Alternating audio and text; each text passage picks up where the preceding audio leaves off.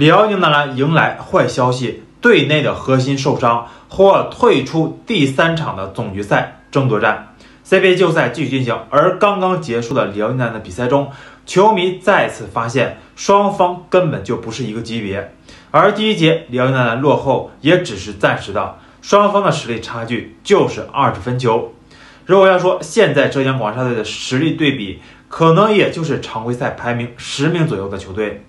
比如说天津男篮、山东男篮这样的水平，可能连山西都不如。而现在辽宁男篮也是迎来了一个坏消息，据悉队内的核心球员郭艾伦很有可能会退出第三场总决赛。郭艾伦在第二场比赛的时候状态低迷，真正的原因也是揭晓了，那就是郭艾伦的手指肿得非常的厉害，小拇指严重变形，而郭艾伦的状态低迷、没落的背景。和替补席要睡着的状态也是真的让球迷担心，因为总决赛是七场四胜，比赛远没有结束，所以姚明为了求稳，很有可能不会急功近利，让郭艾伦呢会继续的带伤作战，因此郭艾伦退出第三场的总决赛是基本可以确定的事情。